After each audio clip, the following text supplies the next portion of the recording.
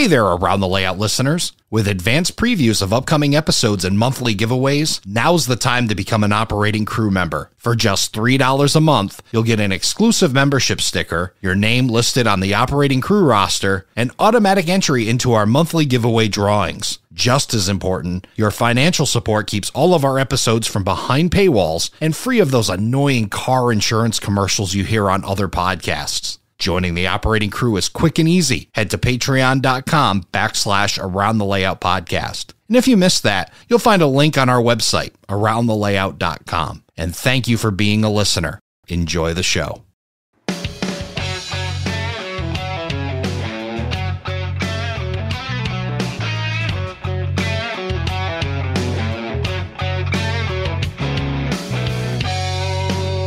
Hello, everybody, and welcome to Around the Layout, where model railroaders come to tell their story. My name is Ray Arnott, and it's time, although early in the month, we're going to do a special What's Happening in Model Railroading. And joining me to do that, of course, is the editor of Model Railroad News, Tony Cook. Tony, welcome to the show. Hey, Ray, how are you doing today?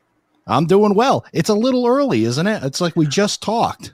You know, it is, but uh, the industry is just the uh, exact rail and scale trains. Do I need to say any more? And no. this is something that's been brewing for a while. This is a really exciting combination of the two. And I'm so excited that we have, if you remember, one of Scale Trains' slogans was innovative scale trains.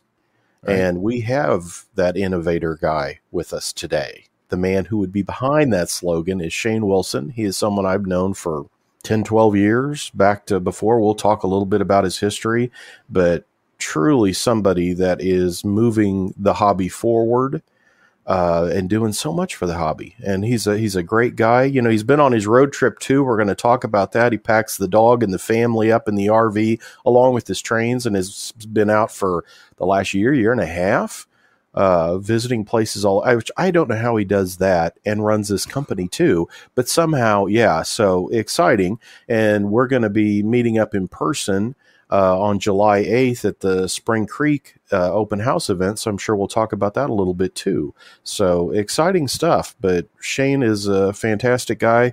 And again, one of the, the leaders and innovators in the hobby. So this is a great guest, and we've got great news happening right now three major railroad acquisitions in the last couple of years. Number three, CSX Pan Am. Number two, CPKC. And number one, the one everybody is talking about, the exact rail acquisition by Scale Trains. Let's not wait any further. Let's bring in from Scale Trains, Shane Wilson. Shane, welcome to the show. Ray, Tony, thank you so much. Boy, I hope I can live up to that intro. Uh, you were really too kind there, and I got to give a lot of credit, guys. I mean, you know, you know, uh, we have an awesome team both here in the U.S. and and our and our factories. So, uh, while I'd like to take all that credit, I sure can't. It's it goes to our people and what they do to to bring the best model railroad products to market that we can do. That is true, Shane. That you know, Paul Ellis and Mike Hopkin. I work with those guys a lot on prototype things. Drayton, did I tell you what Drayton and I are talking about doing? I have not heard this. Well, as we text and message back and forth on various, you know, promoting because Drayton's your social media guy. Yep. He is, and I don't I have no idea how he's way too young for this, but he's a big fan of like 80s music. Oh yeah. And and he was telling me, "Oh, I'm going to see, you know, Duran Duran in concert." And I'm like, "How do you even know who they are?" I said, I was in high school at the time. You? No way. Oh, yeah, I love that. So we're always talking about music as well as trains. And I keep saying, we need to do a show where we talk about old music stuff. And he goes, "Oh, I love that. That's that's my second favorite hobby to trains." I said, "Me too. Yeah, music and old TV shows and movie. Yeah, same thing." So I'm trying to recruit Drayton to to do a show on talking '80s music.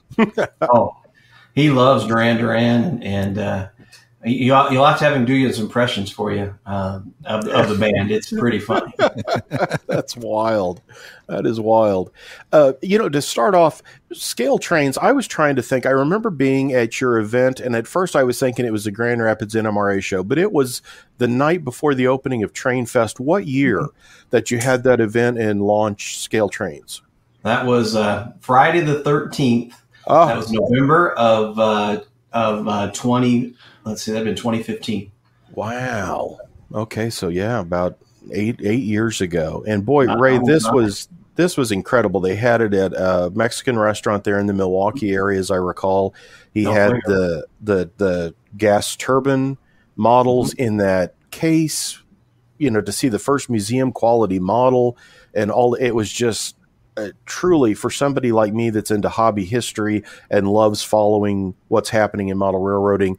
That night was just like magic of wow, I can't believe all of this stuff and this new company and and since then scale trains just continued to to blaze quite a trail and brave enough to come out on Friday the 13th too. He, would no warning, just go right for it. So uh, it seems like you've had some real. Started the 14th, so we had no choice. Yeah, there you go. it's just a number, right? That's right. Um, and you know, I the one thing I wanted to ask first, because I, I, I, know a lot of people probably know, and you know, remember you from your pre-scale trains days, but. You are actually like in the the retail side or a, a, hobby shop side of things way back, weren't you? Can you tell us a little bit about your background on how you kind of got into the business? Well, I've, I've been into model railroading since I was a, a wee lad, as they say. I got a Marx train set probably when I was about four years old. Uh, moved into HO scale probably when I was about eight or nine. Did N scale when I was a young teenager. Uh, opened a hobby store. Well, actually, bought out a hobby store. My mom, I don't know how I convinced her uh, when I was 15 and opened that when I was 16. Wow. And uh, did that for about five years. Took a year off and sold insurance. That was crazy. Earned my early 20s. And then uh, went to work for a company called Hobby Dynamics uh, they were a wholesale RC distributor back in the uh, late 80s, early 90s. And uh, Horizon acquired Hobby Dynamics just about a year after I started working there. Went over, worked in wholesale sales. Man, I worked everywhere.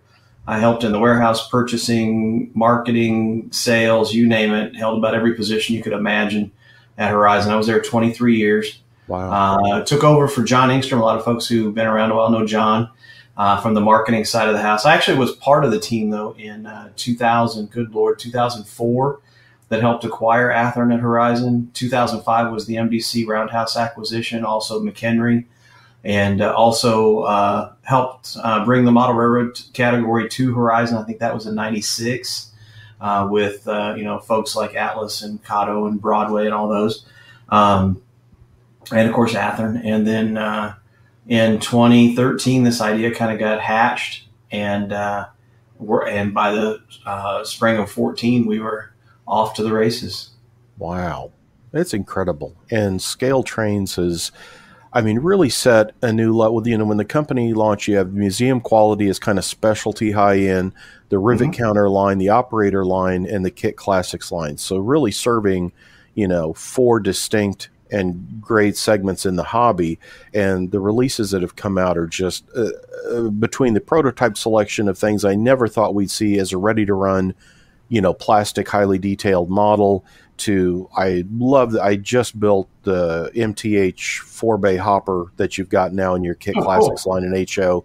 That I love doing those, you know, the basic kits and the price of those. I pick those up all the time uh, it's just it's amazing all the stuff that you've done in what less than 10 years mm-hmm. with scale in in addition to you've moved the company from in Tennessee which I can't imagine picking up and and moving but and you guys are spread out all over the place you're based in what Cleveland Tennessee mm-hmm. but you know as as things work today just same as it is with the magazines I do for White River none of us have a desk across from each other that we're all over the country and I, I, know Scale Trains has a lot of that too, with people working all over, all around. You know, we we've been really blessed, and, and thank you for that, Tony. I really appreciate it. Know, you talk about brands. We've actually uh, have two more brands now. We're gonna we're inserting Fox Valley between uh, operator and rivet counter. Uh, Fox Valley is kind of going to be that bridge where there's uh, some prototype specific detail, but it's not nearly at the level of, of rivet counter. So you'll see some products like XMTH uh, some of the Fox Valley will live there. Some will go to rivet counter. Some will go um, to operator. But it'll give us a chance to do uh, what I'll, we'll call fallen flags on maybe some modern locomotives. Take a rivet counter locomotive and bring it in, and maybe you do a, a Rio Grande ET44.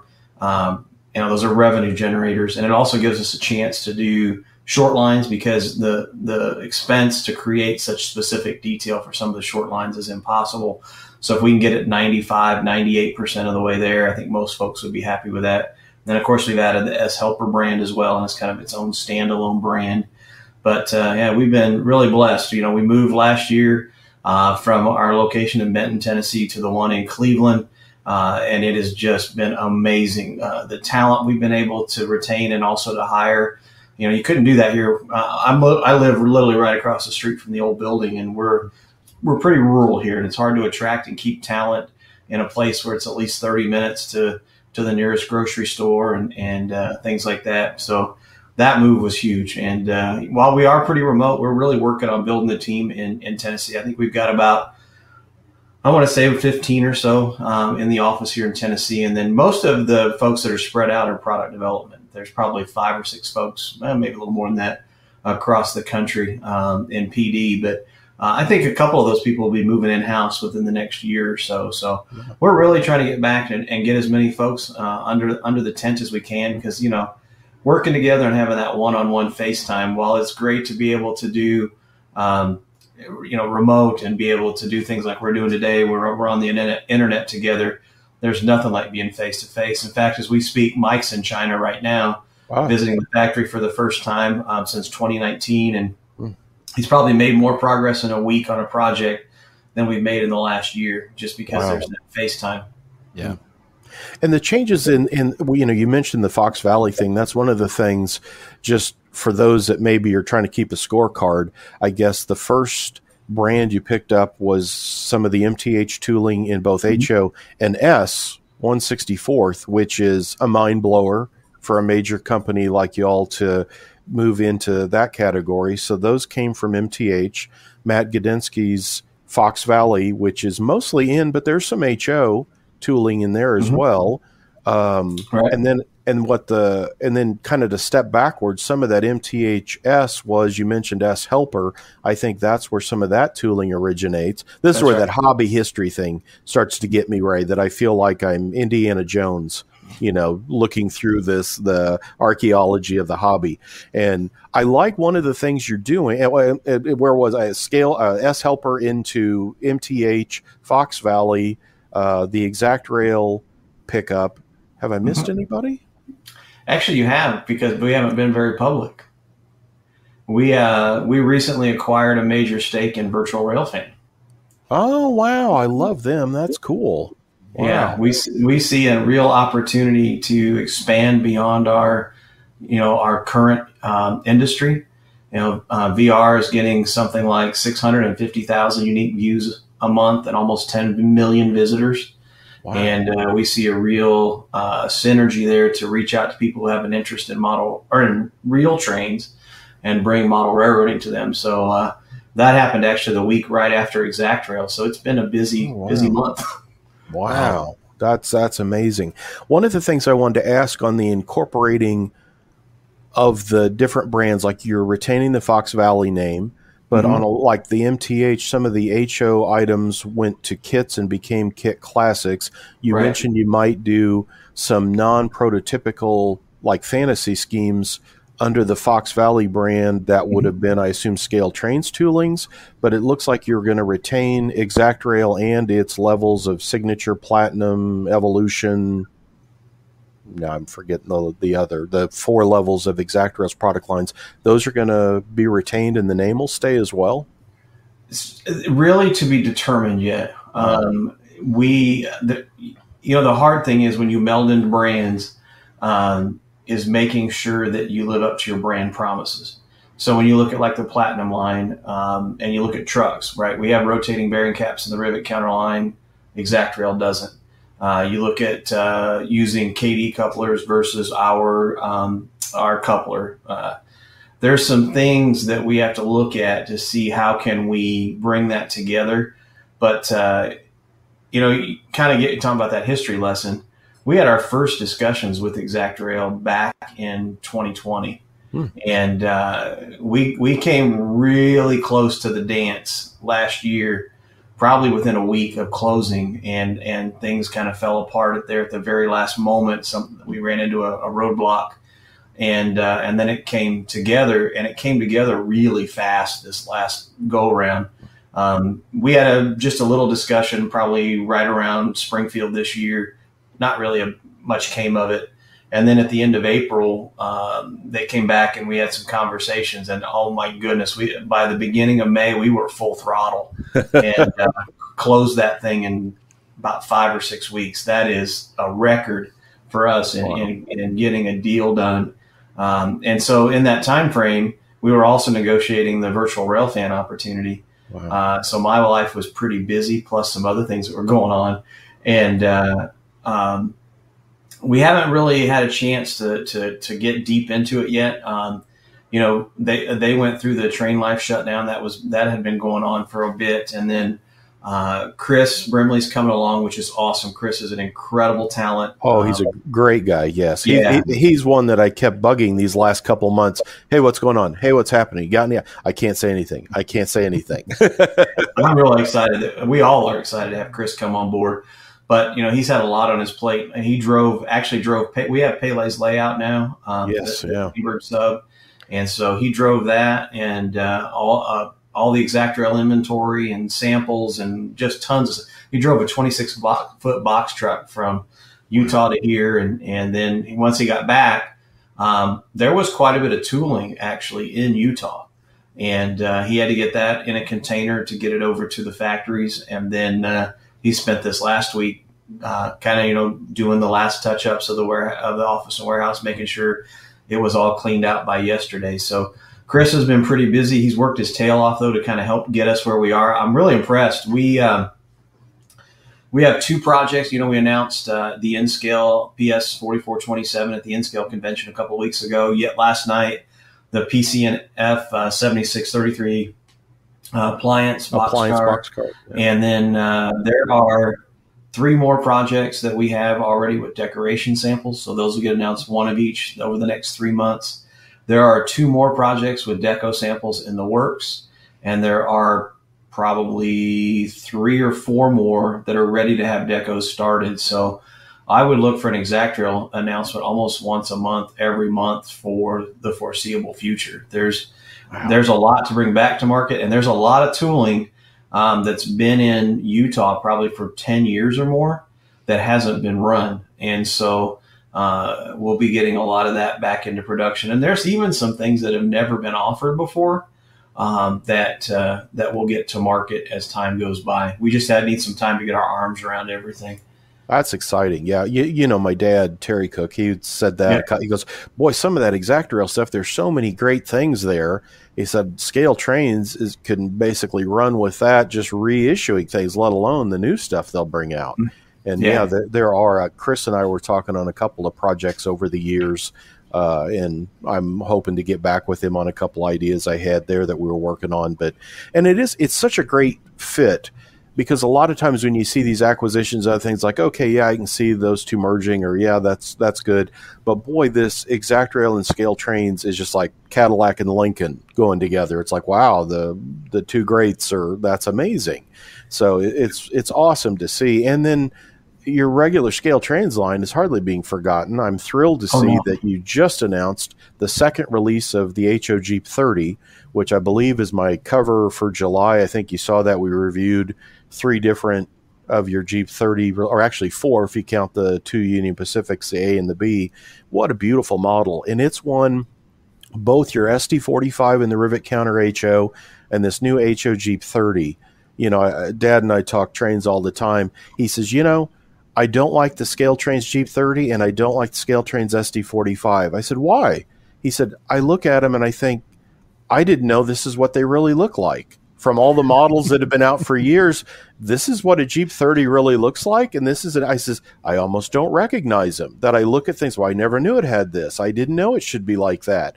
He said, they're, they're almost baffling to look at. I said, I know what you mean. That, yeah, it's like, oh, from, you know, these are such familiar prototypes. And I think as modelers, we tend to get that feeling of, I, you kind of confuse the prototype with maybe an old blue box Athearn or somebody else's model, and then when something like yours comes out, it's like, wow, I this is you know like that Geep 30, the top of the cab roofs. I remember talking to Mike Hopkin and Paul Ellis about the different those bands across the roof. It's like, what is that? And he said that's what's really on there. I'm like, it is.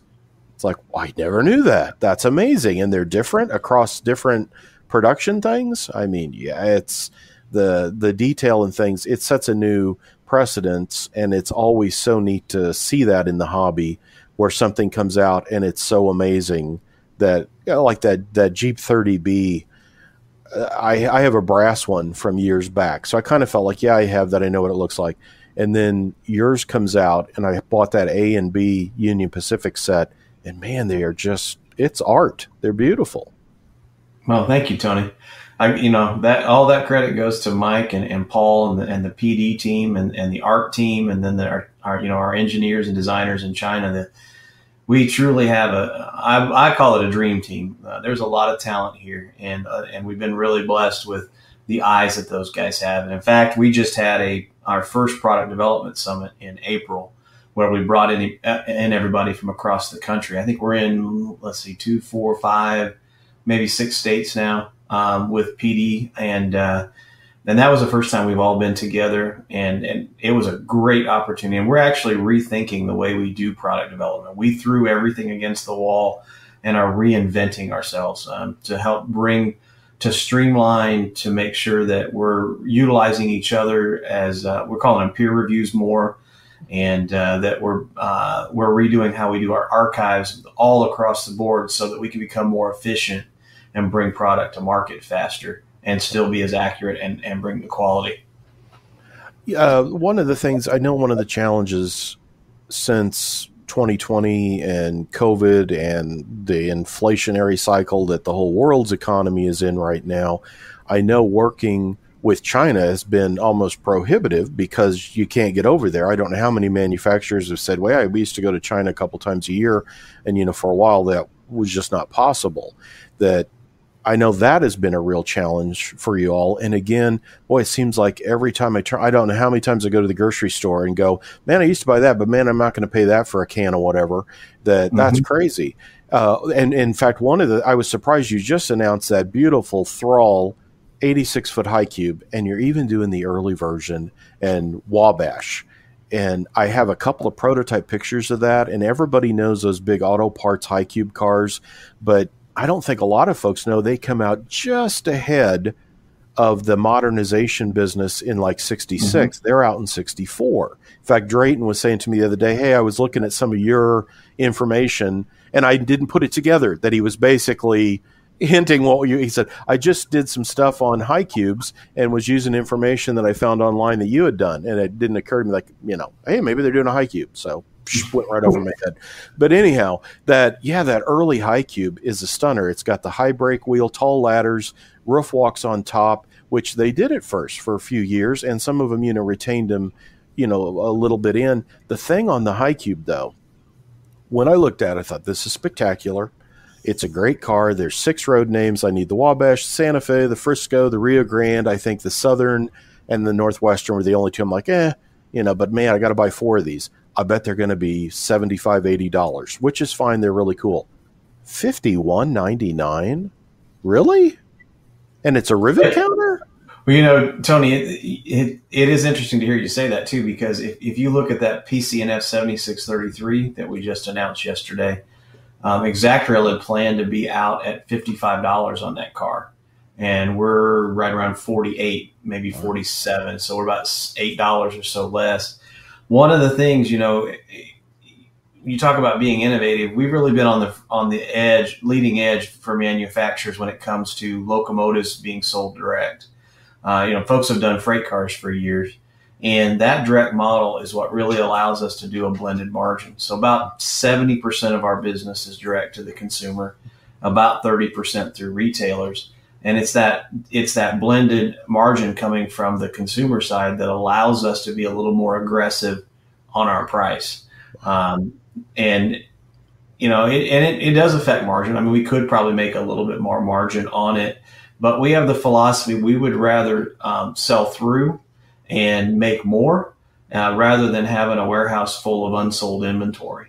So for us, you know, we can always make more. And as long as we're hitting our, the numbers that we need for our minimums, which is no problem, um, we'll just come back and, and, just continue to make them. Even like the G30, it only went up five dollars. Um, you know, on non-sound, ten dollars on on DCC and sound because decoder prices have gone up. But we've really tried to hold the line in, in that under three hundred dollar price point for a DCC and sound locomotive. And yep, back to China and the inflation stuff. Is that correct? Are those probably two of the biggest foes you're having to fight as far as making things work and staying yeah, where you want to really, be? It's really shifted. You know, it's really crazy during um, COVID. Containers door to door. You know, pre-COVID, we were spending about five to seven thousand dollars for a container. We're getting down to those levels again, thank goodness. But if you think about it, we've announced a product, we've taken pre-orders. It's now time to ship and the shipping company goes back and they're gonna they say well, it's going to be thirty thousand door to door. You know, you're you're five times, four or five times what your anticipated landed cost was. So we ate a lot of that at that time, and in those times we were actually seeing double digit uh, price increases. So we ate a lot on the margin side through COVID. Um, we have been having to make some of that back up in the last year. You've probably, you've seen a, we've been a little bit more oh, probably a little higher than we would want to be, but uh, we are definitely taking a lower margin to be able to pass that along. And uh, because, you know, several of us on our team are modelers. You mentioned Drayton, you mentioned Paul, uh, and then there's plenty more on our team that are modelers, whether they're in product development or marketing or sales or you name the department. And, uh, you know, and, and, I listen to those guys too, and, and they talk about the pain of wanting to buy product and, and things that they really would want to have. And, and and we hear it from the customer. Uh, you know, there was some pretty pretty rough uh, correspondence last night from some folks that weren't really happy with the prices on the Geep 30, and it's like you know we. Unfortunately, it's a business. Fortunately, unfortunately, it depends how you look at it. It's a business, and we have to make money, and, and it's that money that that allows us to invest in new things like the the high cube boxcar or buy a building that's the size that we need to be able to grow and continue or, or, acquire companies or invest in companies or whatever it is. That that requires profit. And unfortunately these days it seems like profit's a dirty word but that's what makes the world go round and you have to have it. And, and uh, you know some people believe we're fat cats living in the mansion on the hill i wish that was true but this industry is a labor of love and, and that's okay love what i do wouldn't trade it for anything and, and uh, glad we're here I think yeah, I uh, in anything, whether it's like magazines that I do or the stuff that you know you do, yeah, it, everybody tends to be. I'm in it because I this is what I like to do. That it was my thing and it turned into a job, and yeah, yep. it is. It gets a labor of love. Speaking of a big giant mansion, you've you've not even you've basically been homeless traveling the country in a Winnebago for the last couple. Tell me about this road trip. I remember when you first propositioned this saying, "Hey, we're going to do this," and I thought, "This is crazy." There's no way he can do that and run a company. It's it's been going on now what at least a year, hasn't it? A year and a half. Oh no, we started uh, in the fall of 21, so oh, it's now uh, almost going to be two years this year. Um, you know, Tony, it's funny. I wish you'd have spoke some common sense into me back then. no, not really. We uh, it, it's really become more than we ever dreamed it would be. So I've always I've had this vision for years, and COVID is what really brought the opportunity because we weren't traveling. We saved a ton of money on trade shows and travel and all those things. So we took that money, and we invested it in a in a pickup truck a fifth wheel RV, and and uh, started hitting the road. We actually Labor Day of of uh, 21 was our first event that weekend, and uh, we've now um, by the time we finish up the one we're starting this summer we'll be just over half the country. I'll have pretty much everything done east of the Mississippi except two states. Wow. But the amazing thing is, when we started this, you know, it was crazy. You want to talk about crazy? I we, the original idea was 50 states in 50 weeks, and then I looked at the logistics and I said, "You lost your mind." And uh, and so we said, "Well, we'll do it over maybe two years." Well, the thing is, you know, if you're going to take the time to go to drive all the way out to Washington State man, you're going to see as many places as you can and, and visit as many uh, clubs and, as you can and do some research and, and those things. and it really mushroomed. We thought we would do between all 50 states maybe a 75 to 100 dates uh, for meet and greets, and that's our meet and greet presentation. And, and doing visits too. We visit clubs. Maybe we don't do a meet and greet. We'll go visit. We go to some museums. There's all all kinds of things we've done. And when we wrap up this summer, we'll be just shy of 100 meet and greets. Uh, I think by the time this whole thing is said and done, we'll have visited 200 plus clubs and done 200 wow. meet and greets. Wow. And it's it, it's that chance to meet folks one on one where they are. You know, we do. You, have been to a lot of major shows. You've done Train Fest. You've done Springfield. You know, done some of the WGHs. Well, those shows are never going to come to uh, you know uh, Boise, Idaho, or you know you name it. Uh, just the the regions aren't that large to be able to support a show like that. So this allows us to go places that we would never go, and uh, and meet people and, and let them. One of the things that's really important to us and has been since the very beginning is we want people to know we're real people. We're not some nameless, faceless company that we're unapproachable and you have no idea who the leadership or the ownership is or the people that work there. We just want to be your friend and, the company that loves to make your model trains and, and spend time with you when we're together. Well, then it's grown from that, you know, because I liken that too, by the way, to like throwing a rock in the pond. So the average meet and greet has about 25 to 40 attendees. It can be more, it can be less. We've had as many as 100. And I, you know, you you share your we share our story, how we got started, where we are today, some of the adversities we've overcome. Um, we show how model trains are made. Take a trip to the factory and and through the whole product development process. We do a Q and A session. We run trains on the railroad and then you have that one-on-one time with people and they, and they tell their friends and, and you built uh, you know you built an ambassador for your brand well then beyond that the thing that we really didn't realize would be so huge is the opportunity to meet people who have prototype information uh, oh. slide collections research materials access to the prototype you know we had in one instance we were down in florida and doing one in, in tampa uh, or no, it was a little further south. That was in Fort Myers. And this guy comes up afterwards and he's talking to me. And he says, Well, what do you got planned in the morning? And I said, Well, we have to be in Miami tomorrow evening, but we don't have any, you know, anything hard on the schedule for tomorrow. And he says, Well, I own the Seminole Gulf Railroad. Would you like a tour? Like, uh, yeah, I think we can do that. But you know, it's those kind of things that open up, and suddenly you've got access to prototype information that you've never had before. Wow! And uh, and then it's um, there's so much more than that too. And, and you know, we had a chance to go down and, and spend some time on the White River Ranch. That was pretty incredible. oh, uh, that's right. You know, and I just I can't remember. You know, I split my time between Katy, Texas, here in the Houston area is where I'm at today, and then you know my place up north of Kansas City. I'm back and forth, and I I stay down here to work the archive stuff at White River. And yeah, Kevin EuDaly had mentioned that. He said, "Oh, hey, you know, Shane Wilson was here. They brought their camper and all that stuff." As hasn't Kevin got? What do you think of his office there with the gun safes full of slides? That's that's oh, where I I go to spend a couple of days of doing nothing but. What was it Paul Ellis was asking me about? What is it Mike Hopkins looking for? Let me see if I can find those pictures. Isn't that amazing? Hey. Oh, it's unbelievable. Unbelievable. Yeah. And he was showing you guys his photo server too. Holy smokes. Yeah, it's, yeah, it's, it's awesome. Awesome stuff. They really enjoyed your visit. Yeah, I keep waiting for them ready to come to Plattsburgh. You know, I think, well, I'll just get some hot dogs, hamburgers. They need to pull up in my driveway, you know, and have a ScaleTrains event. And of course, it's only a town of 2,000, but, you know, I do have like a couple Model Railroad News subscribers in Plattsburgh. I remember seeing that on the list one time, and it's people, I don't even, it's like, wow, that's something. But that's cool. So yeah, there's yeah. trained people everywhere. You never know. Yeah. Now your and, next your next run, where uh, this show I think will come out right around the Fourth of July or before. So we'll actually be seeing each other Saturday, July the eighth. At mm-hmm. the great uh, Spring Creek Model Trains in Deshler, Nebraska. Speaking of small towns, uh, yep. that they're having their every other year open house. So is that the the only trip you're making with the RV this summer, or you have more stops?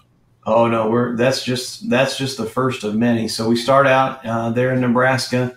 Uh, we'll do the show. We're actually going to do the meet and greet presentation. So folks who are coming to the show at 3:30 on Saturday at the library, if you're uh, there's an opportunity to come and see what we do during a meet and greet. And then from there, we've got uh, we go to Lincoln, and then over to uh, Grand Island, and then the next weekend we'll actually be at Greeley at the Colorado Model Railroad Museum for a oh. day long event And then that evening, we'll do a meet and greet. And uh, if folks uh, hear the podcast, they want to come to Greeley on during the normal business hours for the for the uh, museum. If you mention Bear, that's our dog who travels with us, you can get free admission uh, during the day. And then, of course, the meet and greet's free. And then we head off to Vegas for an event the following weekend uh, with the Nevada State Railroad Museum. And of course, we documented the GP30 there. So we'll be on board one of their passenger cars doing a meet and greet. And for folks who are in that area or coming up from LA, uh, Mike, Joe, Paul, and uh, Mike's wife and Joe's wife will be there as well. So it'll be the first time the founders and all the wives have been together in years. So it's an opportunity to come meet all of us. And then we head up to uh, Carson City and then Sacramento, San Francisco, work our way all the way down through California, down to LA, San Diego, over to Phoenix, uh, Tucson, then the National Train Show in uh, Dallas, and then if you come to the Nationals, we uh, the RV is actually going to be in the building. Ah. It'll be the backdrop for our booth, and we're going to set oh, up a wow. campsite with a campfire. I'm going to cook s'mores and all that good stuff, and oh then uh, Memphis and home. So we'll leave. July 5th, and we'll be back the week after uh, Labor Day. So another monster trip, but that'll wrap up pretty much the whole Western United States. That's incredible. And you know, Ray, the thing, one of the things I really like about this is Shane takes his dog with him. Because, yep. you know, I have Bandit is in tow every place I go. You know, if I go rail fanning, that dog is there in the back of the Lincoln someplace. So yeah, I think that's so awesome. That's just She's amazing. right here on the floor next to me. yeah, I got. I have both bandits here and uh, my friend Pamela's dog Chocolates here as well. Yeah, they hang out with me all day. You know, I it's it's awesome. It again, that's when you talk about they're hobbyists, they're real people. You know, the that they're friends of everybody in the hobby. And yeah, Shane is that's he really is a real guy, real deal, and like doing this trip and getting to go out and meet him and do all that stuff is just amazing. Well, we don't want to keep you forever because I know you got all you're packing and doing a lot of stuff today. But as we kind of wrap up, I wanted to ask, what would you tell yourself eight years ago as you were starting ScaleTrains? Now that you've been doing it for about a decade, what things do you see if anything, that surprised you or wow, I wished I'd have known because this would have been like what what kind of things have you learned that have been surprises of wow, I don't know that I expected that, but that's neat. Well, you would think the four guys that started this company with like 135 years of experience in the hobby and the industry at that point would have a clue what they were doing uh, they had no idea. man, there was so much to learn. Um, you know, we had people who could book containers. Well, I had no idea how to book a container in the early days. You name all the things that we had to learn. And I think the other thing that that has shocked me is how much cash it takes for this industry. You know, to cash flow your business is one of the hardest things I ever could have imagined. Um, to be able to continue investing in new product and, and you know, hiring employees or team members. And that part of it kind of blew me away as well. And I think the other big lesson, and I say this a lot, is we should have hired a lot sooner. You know, when, when you're first getting going, you take on a lot your, yourself because, you know, finances are tough and, and you're, you're stretching to make the ends meet, but you spread yourself too thin.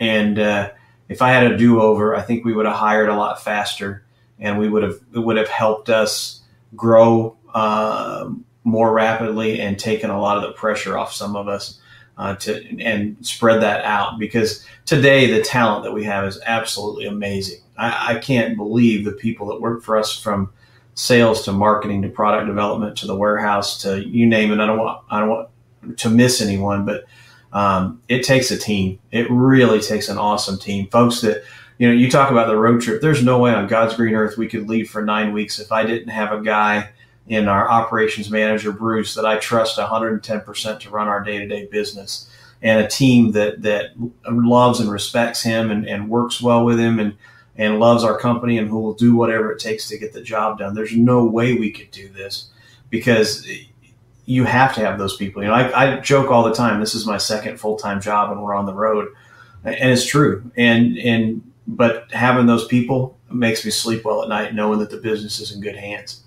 Just amazing, you know. And I could have helped you on that money thing. I think it was Nat Polk that ages ago said, "How do you make a small fortune in model railroading? You start with a large fortune." We proved that. oh, so can you tease us at all here? Because I can't believe you've just announced Geep 30s. You've got new ExactRail products. That Thrall High Cube, I'm so excited about. But the NMRA show is coming up in mid August.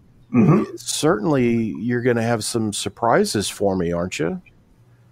Look for, and and you know things do change when I say this, um, but I'm very confident that the next museum quality locomotive will be there. Um, the we should have an all new N scale locomotive uh, ready to go there, and um, that will probably be it for all new tooling at that show. Uh, but I, we should announce, and it'll probably be early next year. But there's, there, I looked the other day, not including like what we're doing on the MTH side of the house with bringing that tooling back, or the Fox Valley tooling, or the ExactRail. We have like 30 projects in play right now um, for the next few years, in some form of either announced or all the way back into the research phase somewhere along the, the pipeline. So there's plenty of new product uh, coming. Wow. Okay, now I'm not going to sleep tonight trying to decide what is that museum quality release that's coming up. Man. I think it's going to be unexpected. I think Tony should make a list of what he thinks it is, and then we'll see in Texas if he's right. if he's Let, correct. Just, let's see if he can guess it. Well, if Tony gets it right, I'll buy dinner. If Tony doesn't get it right, he buys me dinner in Texas. there you go. There's the bet. There's ha- the bet. Ha- happy to do that. Buy you a big steak or barbecue. Man, there's nothing but good eating down here. In fact, my assistant editor Shane Mason always says, "I think half the reason you go down there is not to get away from Kansas City winters, not to work at the slide collection of the EuDalys. You go down to Texas to eat." I said, "Well, there is, some, there is some truth to that. Yeah, yeah. and." I'll I'll put in my final request here again when are you going to buy the Tyco tooling and let me run that and make train sets for you? Man, if we could find that Tyco tooling, I would love to. Seriously, I you know it's like I don't you probably can't see it, but I have a whole stack of Tyco over here on my shelving unit. Um, I would love that. I think that'd be awesome. But it kind of got spread to the four winds, and then I'm afraid so. Just gone.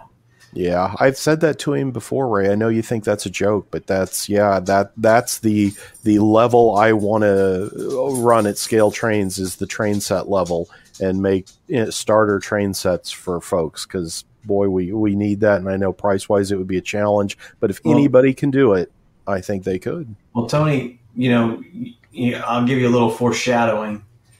Um, it sure makes sense to come with a train set when you can market to hundreds of thousands of people who aren't in your industry. Yes. And yeah. that was one of the big reasons for this most recent acquisition. Wow. And it was. I mean, when you look at, you, you know, people can knock the quality and such that Tyco had, but when you think of back in the day, you could walk into a Woolco, uh, Sears, uh, Kmart, and there was a stack of Chattanooga choo choo sets.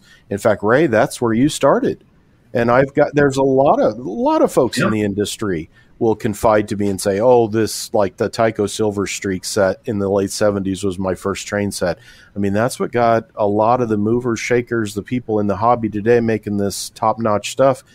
That was how they got into the hobby. So you know, that's I that's, did. I had a lot of it as a kid. Yeah, and you know, I think that's where, and, and, we're looking at some things, and, and there will be, um, and, and look for us, and it'll give you another little eh, peek inside the door with the the VR acquisition, uh, Virtual Railfan.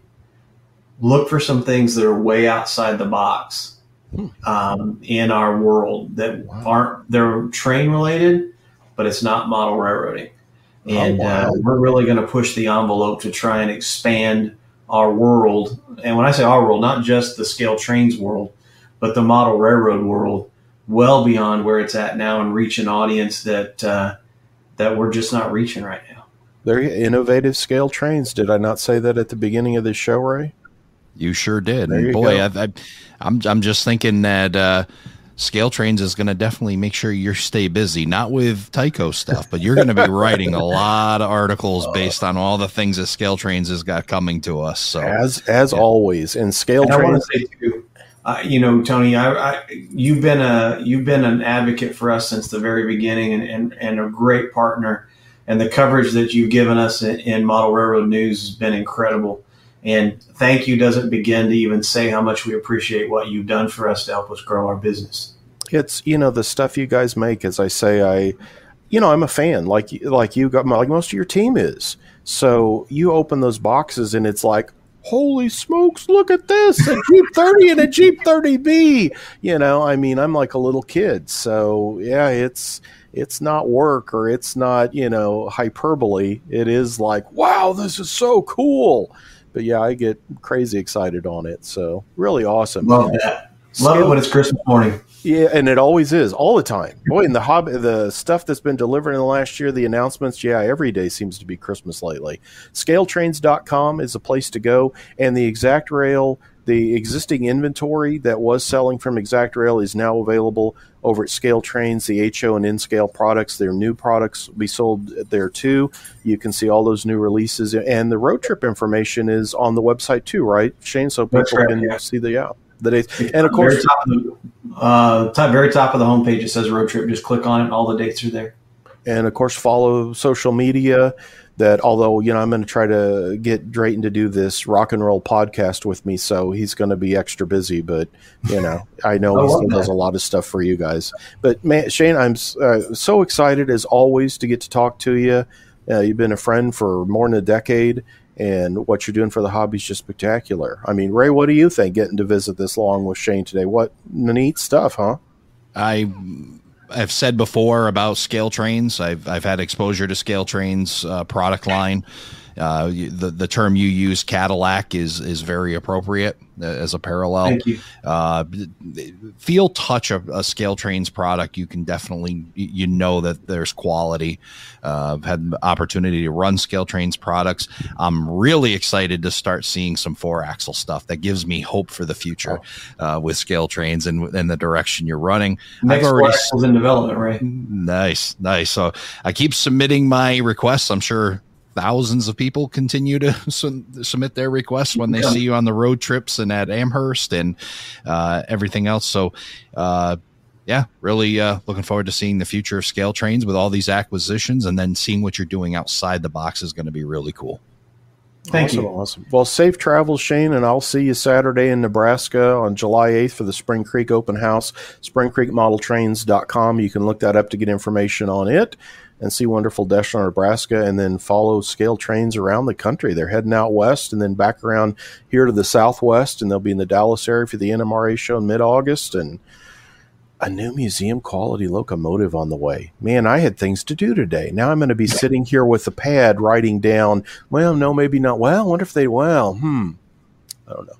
Now I've now I've my whole day's been ruined. I'm going to sit here all day stewing over this. Thank you. Thank you guys so much for having me, and thank you so much for what you do for our hobby and our, and, and what we love, right? And really do appreciate your time and, and uh, giving us the opportunity to visit with you and share our story. Thank you for joining us for this episode of Around the Layout.